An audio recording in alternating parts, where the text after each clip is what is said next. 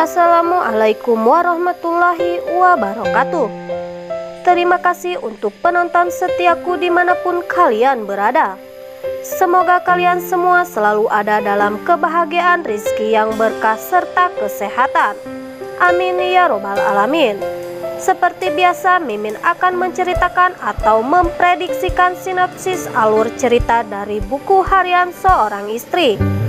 Yang mana ceritanya semakin seru dan menarik untuk kita saksikan bersama.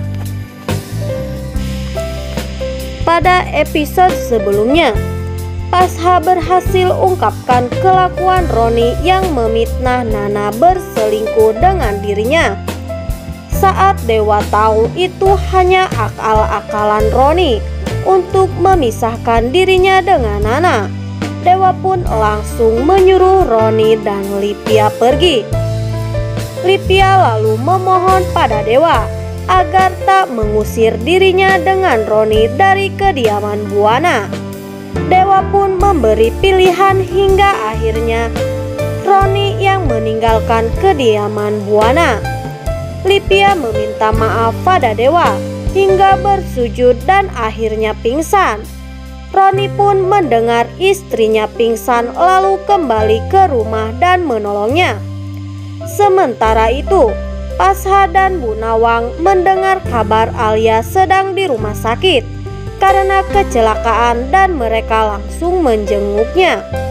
Namun, Alia ternyata senang ada di rumah sakit karena dia yakin dewa yang akan mengunjunginya. Di tempat lain, Kevin yang sedang mengendarai mobil tiba-tiba shock karena bertemu dengan Clara, kembaran Claudia. Kevin pun seketika langsung teringat kenangannya bersama Claudia.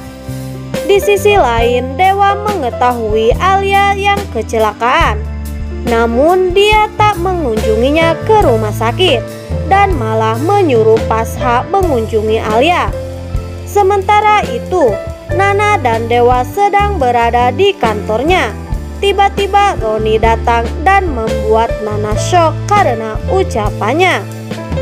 Nah guys, tentunya kalian pasti penasaran dengan alur cerita selanjutnya. Jangan lewatkan keseruan sinetron buku harian seorang istri. Pada episode malam ini 28 April 2021 hanya di SCTP.